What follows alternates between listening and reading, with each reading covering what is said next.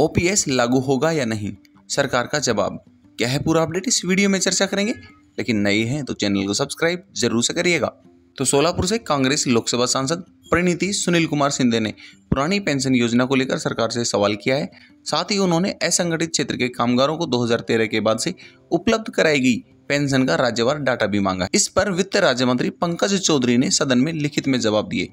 तो लोकसभा सांसद प्रणीति सिंधे ने सरकार से पूछा कि क्या वे पुरानी पेंशन योजना को फिर से लागू करने व विचार कर रहे हैं? यदि हाँ तो 1 जनवरी 2004 के बाद की सेवा में आए सभी लोगों के लिए इसे कब से लागू किया जा सकता है?